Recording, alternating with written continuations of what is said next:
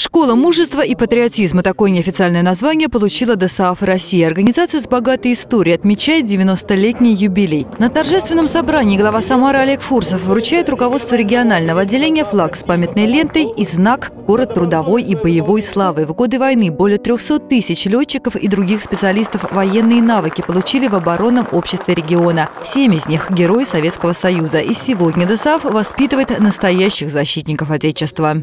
Организация идет по пути обновления. Такая организация крайне нужна. И инфраструктура, которой владеет организация, позволяет в полной мере решать те задачи по воспитанию ребят в духе патриотизма, настоящих защитников Родины, прививать им настоящее, качество настоящих мужчин, настоящих патриотов.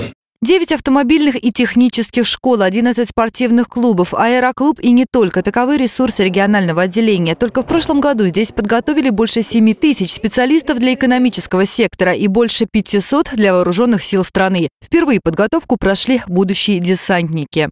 Подготовка проходила на базе нашего Самарского областного аэроклуба. А, значит, полностью они прошли подготовку по программе, которую разработало Министерство обороны. Успешно сдали экзамены. Парашютная подготовка, тактическая подготовка, огневая подготовка. То есть чисто военные предметы. Сейчас срок службы сокращен до одного года. Вот. И уже должны, должны идти уже в армию, должны идти люди подготовленные. В центре внимания юное поколение. В клубах молодые люди учатся не только машины водить.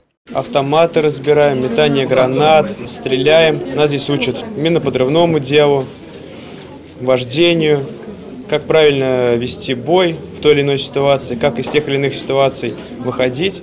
Развитие движения школьников и юноармейцев, увеличение числа военно-патриотических клубов, совершенствование учебной базы. Задачи ДСАФ на ближайшие годы. Марина Кравцова, Василий Колдашов. События.